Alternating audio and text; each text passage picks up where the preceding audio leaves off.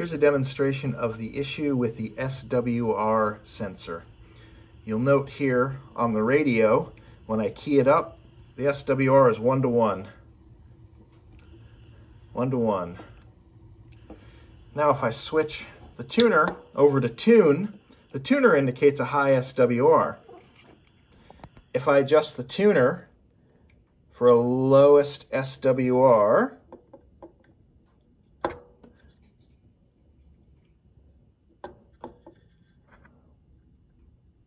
there we go, lowest SWR, put the tuner back to work, high SWR, have to adjust the tuner to get the SWR low again. Now the SWR is back one to one. Flip the tuner back to tune, indicates high SWR. The SWR indicator doesn't line up with the true setting position to get a low SWR on the radio.